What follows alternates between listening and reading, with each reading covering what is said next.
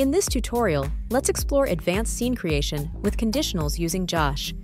To begin, if you haven't watched our basic scene creation tutorial, please click on the video on the screen or find the link in the description below. We are going to use some of what was learned in that tutorial here today, so save yourself some time and check it out first. However, today we'll be crafting a TV time scene using conditionals in our advanced editor. You may ask, what are conditionals? Well, conditionals allow you to create scenes that react differently based on factors like weather, time of day, or even the season.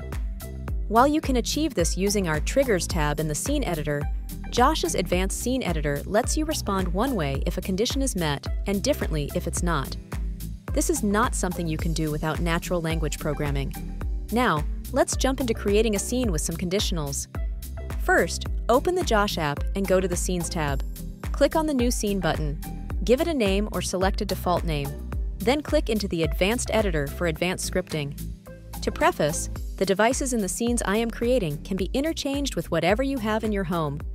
Also, don't be afraid to play around with it. There are some pretty cool things you can do in this editor. But now, let's get back to the scene. We will use the Quick Action button to create a time-based conditional scene. Select the time-based conditional. Now, you can use this prompt to add your criteria in. For this example, we will adjust the den's lighting, so replace where it says Action 1 with Set the den's lights to 35% brightness. Then, let's set the second action to Open the den shades. Finally, let's close the den shades and set the den lights to 50% brightness. Something to keep in mind for typing scene actions in the scene editor. You need to specify each action's location for the request to be properly processed. In this scene, we set up a basic time conditional. If it is before noon, the action is to turn the den lights to 35% brightness.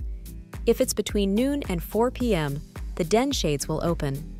And after 4 p.m., the lights will be set to 50% brightness and the shades will close. This is the foundation of creating dynamic scenes based on specific conditions. Now, save your scene and give it a test run to observe how it responds to the time-based condition. Lastly, let's add some triggers that we learned in the previous scene tutorial to make this just a bit more dynamic.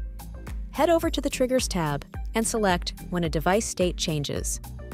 Choose Video, then select our Den TV and finally hit Save.